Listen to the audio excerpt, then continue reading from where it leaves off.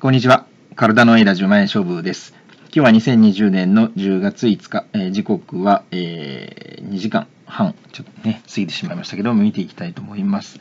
えー、現在の枝コインの値段は10.25円ですね。はい。昨日から2%ぐらい上がってきてます。はい。え今日もうちょっとね、え上がって今落ちてきてる状態なんですね。これ4時間足ですけど、一旦1.5まで上がってます。はい。で、戻ってきてます。で、もうちょっと長いスパンで見ますと、こんな感じですね。はい。えー、16円から落ちてきたとこから見てますけど、ちょうどね、えー、ここの跳ね上がりがこの辺り、ずーっとこんな感じで、これ、ね、急に8円台まで落ちていったところが、えー、サポートラインになっているという感じですね。はい、ただ、ここがね、えー、こう、切り上げてる感じになってるんで、ここをね、え、下げずに、こうね、ここの線をよりさらに上に来ると、もうね、あのトレンドが変わったかなというふうに、こうね、こういう感じになってくるのかなというふうに思います。はい。ではちょっとツイッターの方見に行きたいと思います。はい。えっ、ー、と、まず、体のコミュニティからですけど、えー、サンキュー、えー、ケリーさんということで、えー、このようなね、えー、マスクとか、えー、帽子ですね、これは。はいえー、こんな感じで、えー、エイダのね、えー、と帽子とマスクをね、作られたということで、いろんな方が作られて、いろんなとこで、なんか、あ、これ売ってるかどうかわかんないですけど、いろんな会社がやってるみたいですね、こういうのね。はい。で、ラ・レポジタンスさんからなんですけど、えー、チェック this thread from、うん、ユータ、アンバサダー。He did a great job categorizing、proposal from Catalyst project. カタリストのところで、えっ、ー、と、いろんなね、えー、いい提案がされていると。で、それをゆうたさんがね、こんなにあのまとめてくれています。はい。で、えっ、ー、と、いろんなまとめ方をされていて、で、あの、全部のね、えっ、ー、と、提案を説明するようなビデオも作ってくれているので、えっ、ー、と、全然ちょっと見れてないですけど、興味のある方見ていただくといいかなと思います。はい。で、これがね、採用されて、プロジェクトになって進んでいく可能性がありますので、えっ、と、ゆうたさんの案も下の方にあるということで、確か日本のあのコミュニティをね、もっといろいろ強くするみたいな内容だと思いますけど、はい、興味のある方はご覧になってください。はい、えっ、ー、と、次にですね、えっ、ー、と、カルダのレポートさんから、えー、カルダの90のコマーシャルディールズ in the pipeline inquiries for CBDC in Africa ということで、CBDC っていうのは、あの、えっ、と、なんだろう、その国の通貨をえデジタル通貨にする、えブロックチェーンでやるということだったと思いますね。えっ、と、セントラルバンクデジタルカレンシーか、そんな感じだったと思いますけど、はい、それがね、アフリカで進みそうだということなので、この記事を見ていきたいと思います。はい、ちょっと Google 翻訳なんでちょっとおかしいですけど、見ていきたいと思います。パイプラインの90の長期取引、アフリカの CBDC に関する問い合わせということです。えようやくカルダナの次の事態合言は予定通りですが、最終日のロードマップの公開は遅れています。IOH 系はパイプライン内のカルダナのための90の潜在的な商業取引を持っています。中アフリカの、えー、中央銀行は IOH 系に接近し、あ接近し、CBDC に関して何かをしようと提案しますと。はい。えー、カルダナの発明者、チャールズ・ホスキンソンはカルダナブロックチェーンの様々なトピック、進捗状況、計画について新しい AMA に知らせました。IOHK の CEO が明らかにしたように、今月はノードからダイダロス、他のものへという2、3回新しいリリースがあります。現時点での一つの焦点は、プロセスを並立化することによって、とりわけダイダロス財布をより早く作ることにありますと。いうことですね。ダイダロス内ではアイデンティティセンター、投票センター、QR センター、紙財布センター、などいくつかのプロジェクトが進行中です。IoT 系は外部企業に対して新しい機能ごとにコードを使用してパッケージを作成し、ダイダロスに簡単に統合できるようにします。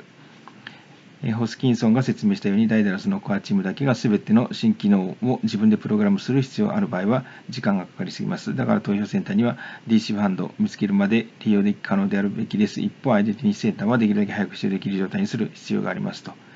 いうことですね。じゃあちょっとポイントだけ見ていきたいと思いますが、はい。じゃあ、ここから読みます。カルダノのと中央銀行のデジタル通貨 CBDC との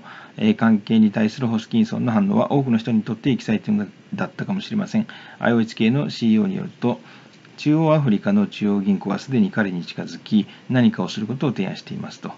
えー、私はカルダノが銀行の国際決済の代わりであり、すべて非ビス銀行が私たちを接続組織として使用しに来ることを望みますと。私たちは CBDC にいくつかの勢力を持っており、しばらくの間彼らについて考えており、中央アフリカにはね、何かをしようと言って私たちに近づいた多くの銀行があります。そして実際には CBDC の概念を結びつけるのは本当にクールだと思いますが、UBI、UBI ってちょっと今わかりません。の概念でもトークン化できるので、え通貨を使用することで、え取引手数料がドミノ基金に蓄積され、国の通貨であるため、社会に配当分配する必要があります。だから我々は実際にそれを投げたと。ちょっとあの日本語がね、えー、分かりにくいですけど、とにかく中央アフリカで、えー、っとですね、その、まあ、国の、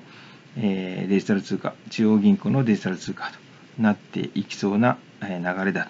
というところですね。はい。これは結構すごいことだと思います。はい。え次にですね、えコインポストからえー、なぜ金よりビットコインが資産として優れているのか、米ナスダック上場企業ということで見ていきたいと思います。はい、えビットコインは金より優れた準備資産ということです。4.25億ドル450円相当のビットコイン投資で注目を集めた米、えマイクロストラテジー社の CEO マイケル・セイエセイラーはビットコインはデジタルゴールであり、ゴールドよりも優れた準備資産であると強く信じているようだと。米投資調査会社スタンスベリーリサーチとのインタビューで、セイラーは金は自身にとって第2の選択肢でもあると認める一方で、コモディティとその価格の歴史を振り返ると、ビットコインの方が実質資産として、えより優れていると主張したということですね。はい、希少性で勝るビットコイン。金を供給量の面から調べてみると、金鉱山では毎年およそ2%増産していることが分かったとセイラーは言う。そのため年に2%の供給量の増加が100年続いた場合、1億ドルの相当の金額は1250万ドルまで低下することになると、えー、主張すると。また、金の価格が倍、ひいては10倍になった場合、金生産のインセンティブも増加し、人間は金を採掘するために資本を投入すると同時に、より効率的な方法を発明するため、供給量も増加するだろうと説明した。ゴールドアクセサリーを溶解し、精錬することも可能。つまり金は供給量を増やすこともできるコモディティであり、えー、供給量が増えると、結果として価格が下がっていくとセイラは見ていると。価格が上昇すれば人間はそういう工夫してより多くを生産するようになるのがコモディティの歴史だったとセイラは主張する。石油の場合、原油価格が1バレ1バレル100ドルになると新たにフラッキングと呼ばれる採掘法が考案され、石油の生産量が大幅に増加したことにを例に挙げたと。その結果、アメリカにおける石油の生産量は1日500万バレルが1年で1000万バレルになったというと。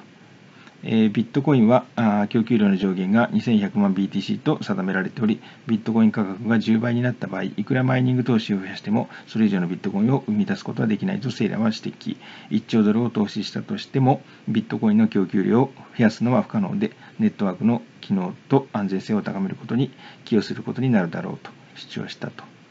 最も流動性が高い資産。えー、先月、セイラーはマイクロストラテジーが保有するビットコインはいつでも生産できると発言していた。しかしこの発言が多くの誤解を招いてしまったとして今回のインタビューでその真意を次のように説明したと。ビットコインは最高のセキュリティであり、最も流動性の高いセキュリティとして、え発明されたと。例えば土曜日の午後、外国為替、金株式債券市場で取引をする言葉できないが、ビットコインなら365日、どんな通貨でもどのような時間帯にでも取引することができると説明。そして歴史上これほど流動性が高く、いつでも地球上のどの市場でも取引できる資産は存在しなかったと改めて強調し、それこそがビットコインが無傷の資産である証だと主張したと。はい、じゃあ最後いきます。デジタルゴールド。Apple がカメラを非物質化し、Facebook が写真を非物質化し、Google が図書館を非物質化したのと同じように、ビットコインはゴールドを非物質物質化したデジタルゴールだとセイラーは述べていると。ビットコインはあらゆる場所に高速な移動が可能であり、コンピュータープログラムによってさらに賢く進化できるとした指定したと指摘したと。バーチャルの最前線でその前に存在したものよりも100万倍も良くなることに貢献することは非常にクールだと主張。多くのテクノロジー愛国家から構成されるマイクロストラテジー社の社員は同社のデジタルゴールドへの投資を非常に進歩的な動きとして大歓迎しているいるということです。はい。えー、ですね、結局、私が言いたいのはですね、まあ、ビットコインよりは金より優れたと。で、 ADA はね、ビットコインよりも優れているということで、えー、まあ、 ADA 最高ということです。はい、今日は以上になります。ご視聴ありがとうございました。失礼いたします。